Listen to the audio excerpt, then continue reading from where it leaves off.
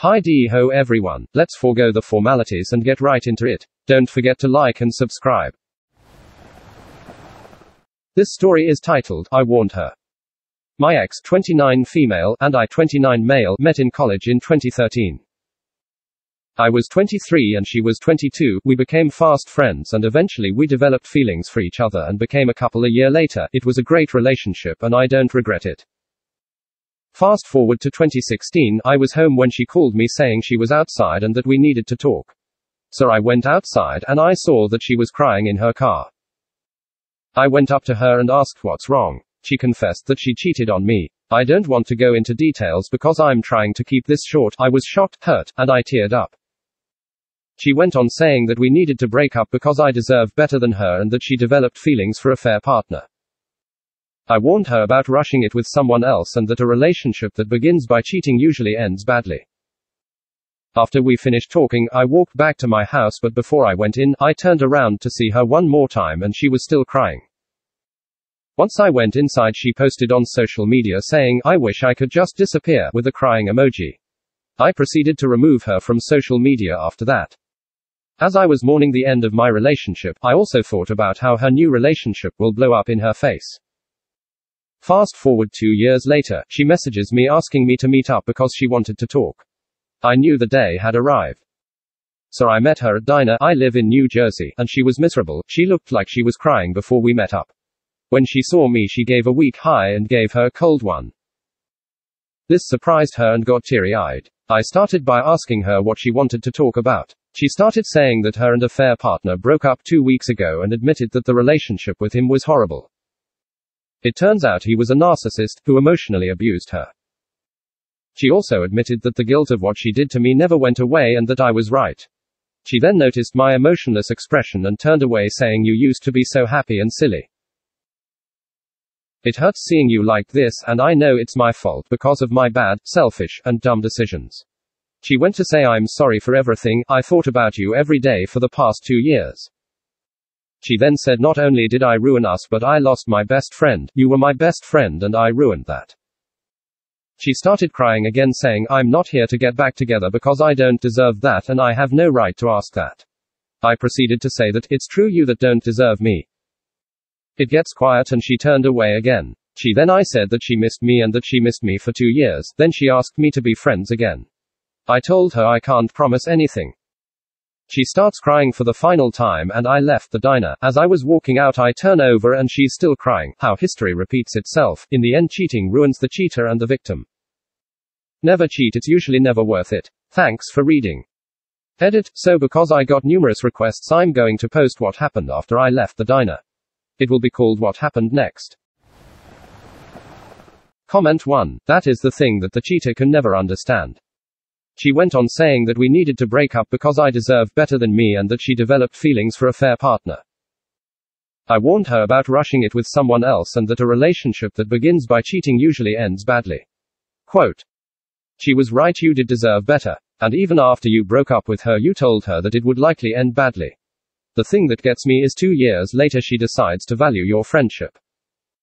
What friendship is there of any value? I have friends on Facebook that have shown me more consideration than this person has to you. Consequences suck, but they are all on her and by her choices. Comment 2. Reminds me of my story. He cheated on me with his ex that cheated on him and then left me to go with her. It was hard and for a while I felt worthless, but she ended up not caring for him at all. It didn't feel good for me at all, but I just knew I was right. Cheating never goes right and it always blows up in your face. You can't escape karma, and what you put out into the universe will always come back to you, good or bad. Comment 3. What really sucks for her is not only did she blow her relationship with you, she probably exhausted herself trying to make her relationship with affair partner work. What's amazing to me is how much a wayward spouse will pour into a relationship with affair partner to prove to themselves that leaving the betrayed spouse was the right thing to do. As evidenced by her new and great relationship with the one. Comment 4. You are walking the correct path, my friend. Give her no attention ever again, don't meet with her ever again, and don't accept any communications from her. Don't keep track of her through other people. Once you flush, don't go looking for what you flushed. And you certainly don't want it back. Comment 5. I think it was hard for you to see her again. I think she was hoping you would forgive her and take her back. I'm glad you did not because then you would be plan B, the backup, safety net. Because you need to think it like this way, if the affair partner did not break up with her, then she would have not contacted you.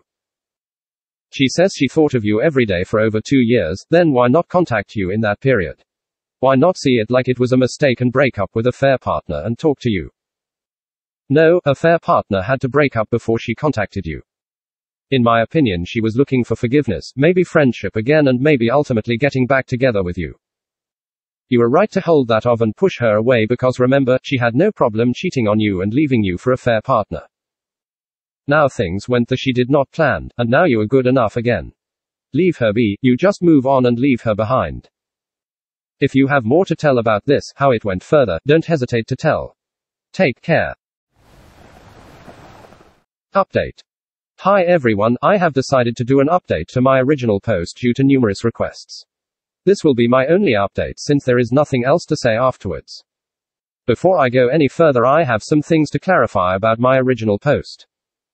1. The affair partner was emotionally abusive. I know because my ex showed me her texts and it was full of no one will ever love you and you're ugly. Also, he broke up with her by text. What a scumbag. 2. She did try to reach out to me multiple times during the two years she was with affair partner. She asked, How are you doing? I'm sorry, and are you okay? I ended up not responding. I didn't block her because I was waiting for the time when her relationship blew up. 3. Friends and family actually saw her during the two years and they all said the same thing. She looked miserable, and when she saw them, she would run up to them, ask how I'm doing, and to tell me that she will never stop being sorry. 4. The diner meeting happened in 2018. Now back to the story. After I got home from the diner, she messaged me saying, If we become friends again, I'll work my butt off to earn back your trust, and if not, please know I'll always be sorry for everything. Fast forward a year later, and I bumped into her at a restaurant while buying lunch. We caught up, and I wasn't as cold as before. I will admit I'm a little embarrassed about what I did next. I offered her a friend with benefits relationship with me, and she accepted. The friend with benefits thing lasted for a few months. When I look back, I think I did it for closure and to show her what she's missing. I ended it because I felt that I got my closure. She was disappointed but also understood. A few months later, she started seeing someone new and they dated until early 2020 before the pandemic hit. She showed up to my home unannounced and revealed to me that the new guy cheated on her with multiple women and actually blamed her for the cheating. Just like the affair partner, the new scumbag broke up with her by text. Wow. She went to say how much she hated herself for what she did to me, but now she understands how I felt. I gave her a hug and told her to take these lessons and never forgot them. She thanked me and left. Fast forward to now, I heard she's in IC and remains single by choice. I saw her mother recently and she informed me, as for me, I'm single working on myself.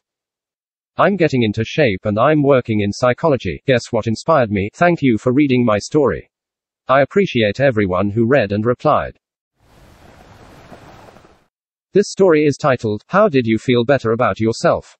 My fiance and the father of my child cheated on me yesterday. We got in a fight and he took it as the relationship being over. If it wasn't for COVID, we would have been married by now, but that pushed it back and I just feel destroyed.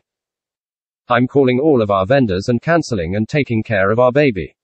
And I feel disgusted with myself. Legit cannot look in a mirror or take off the dozen shirts I have on. How did you feel more like yourself and get over the partner's infidelity? Or just stop blaming yourself? Comment 1. I'm feeling your pain right now as well. I watched my girlfriend cheat on me right in front of my eyes two days ago on my birthday. It's 4 am where I am and I can't sleep due to nightmares from it. In with you on this. Comment 2.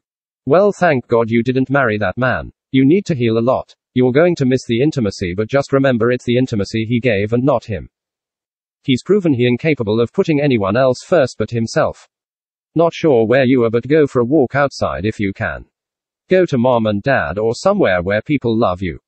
You need to know that no matter what struggle you could have had in your marriage, he would have used that to seek validation somewhere else. I'm sorry he did this to you and your baby. Don't stay holed up at home. Comment 3. You need to finish this relationship for yourself, cut all contact with both, except for only child issues with the father of your child. Look for Grey Rock and 180 for learn how to communicate in this cases somehow they will try to blame you just to feel better and not like the traitors they are. Look for individual counseling to manage the pain and sorrow for this betrayal. My best wishes for you. Thank you so very much for listening. Please check out my other videos and like and subscribe.